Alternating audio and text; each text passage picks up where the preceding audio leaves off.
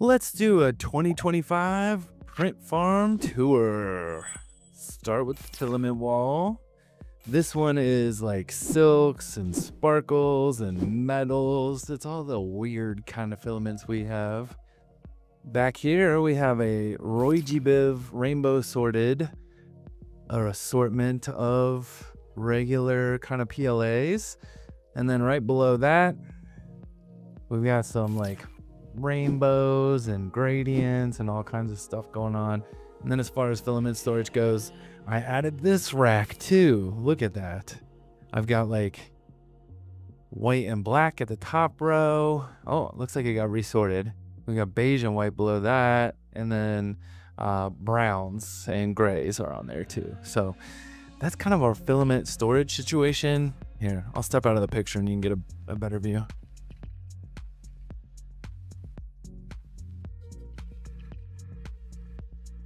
So this was my old YouTube studio. We repurposed it uh, a couple different times, but the 3D print farm is kind of what we've ended on right now. You can see the printers running. So we've got these two here. I've got about two per muscle rack right now.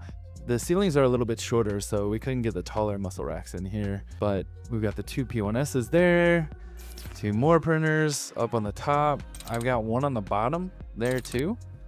Uh, and then we've got two more over here. It's a bit of a mess on the rack below it, but so in total, we had nine down here, and then we decided to celebrate TikTok going down, and we thought it would come back, and so we went and YOLO two more.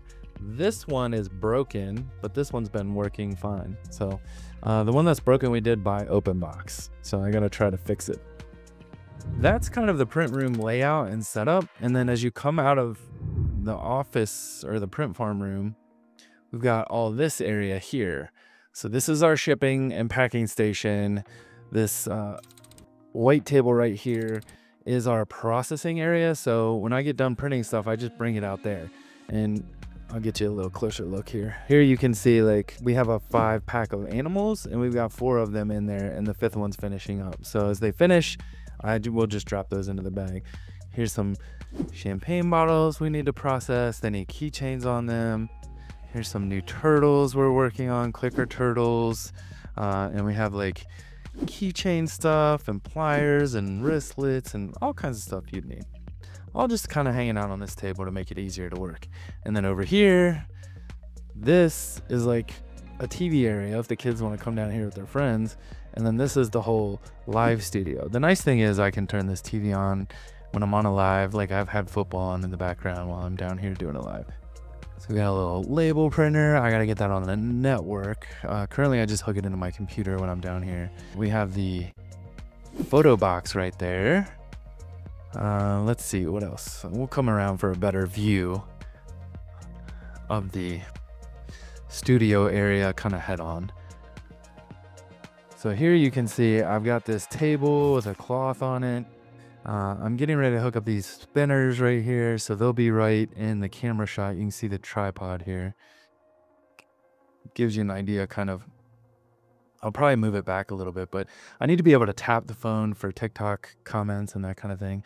And then we put this Expedit with the lights behind it. We uh, put some gray uh, curtains up to kind of give you a soft, like pillowy feeling behind it. And then over here, we have our photography box so we can take pictures of things. It's got a nice light inside of it. And then over here, we have some of our overflow kind of stock that I can quickly grab when I'm on a live or when we're packing. We actually just ordered some new like sorting bins. Uh, it's like a rolly cart, super tall sorting bin thing. I don't know how else to describe it. Uh, very excited for that.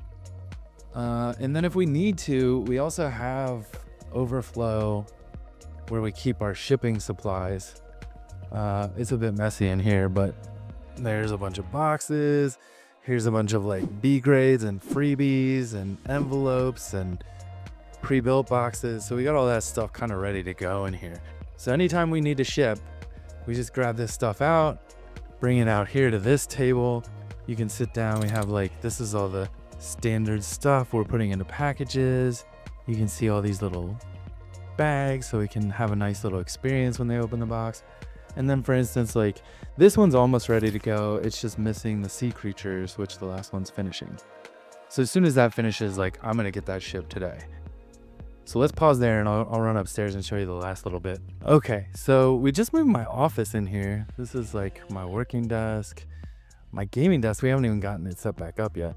But the nice thing about this room is it's got this little like nook that's behind me. So I can make it look really nice on camera. And here you can see Proto Boy. He's the little A1 Mini we bought just to do prototyping on. We can work on 3D prints and I can just like zip it right over to this machine. Um, and I've got like calipers sitting here. And then anytime there's something like I need to measure, like I've been working on something, a little brass insert, I can just like do it right here, get a quick prototype out on that printer and then um, see if I need to iterate on it. And then when I need full size stuff, I can run downstairs and uh, print it off on a big plate. So for instance, I'll show you this. This was the last prototype I did on the A1 Mini for my bookshelf. So this was like printed at 75% size, but it didn't fit on the plate if I went any bigger. So, you know, I run that one downstairs. So that's kind of the 3D print farm tour. If you have any questions or want to know anything or have suggestions on what we should be doing or looking at differently, let me know. Uh, thanks for watching this far into the video. I really appreciate it. If you give me a thumbs up and a subscribe, that would be awesome. And, uh, you know, if you're interested, we are going to do another one of our videos on like how we're doing in January.